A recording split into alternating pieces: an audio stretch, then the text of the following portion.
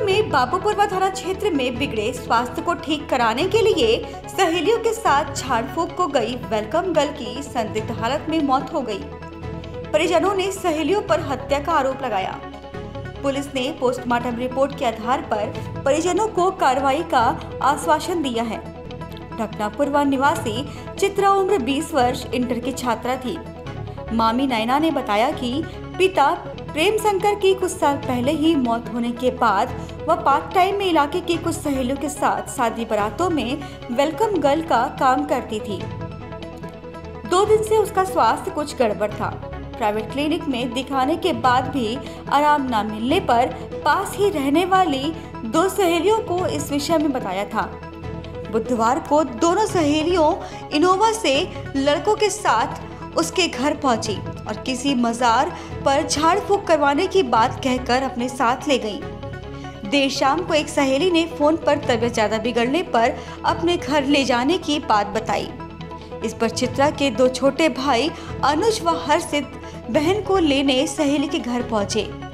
वहाँ से प्राइवेट अस्पताल ले जाने को निकले, लेकिन चित्रा ने रास्ते में ही दम तोड़ दिया। थाना प्रभारी जनार्दन प्रताप सिंह ने बताया कि परिजनों ने सहेलियों पर हत्या का आरोप लगाया है।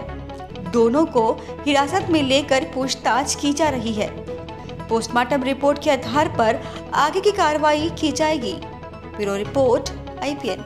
मेरे बताए उसकी सहेलियाँ लोग आई, कहने लगी उसकी तबीयत नहीं सही है, हम उसको ले जा रहे हैं, कहीं झाड़ फूक दिखाने कराने। तो चार घंटा हो गया मेरा भांजा। मेरा, उसने फ़ोन किया कि कहाँ हो? कहना, हम यहाँ जा रहे हैं, वहाँ जा रहे दिखाने। और उसको फ़ोन करा कि कहने लगे, क्या जल्दी? तो लेकर फिर आई चार घंटे बाद। तो डॉक्टर के पास ले गए तो डॉक्टर के पास ले जाते ही उसका जहर फैल गया था।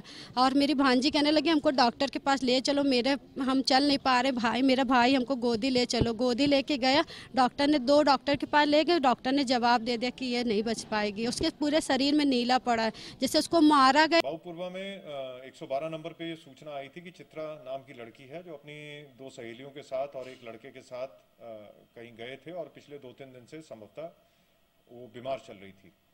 तो उनके माता पिता का कहना है कि उसका गलत इलाज करवाने के कारण उसकी मृत्यु हुई है।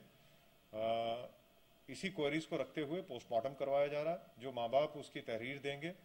उस तहरीर के बेसिस पे मुकदमा कायम होगा पीएम होगा, और जो इनके साथी थे, उनको डिटेन किया गया पूछताछ के लिए।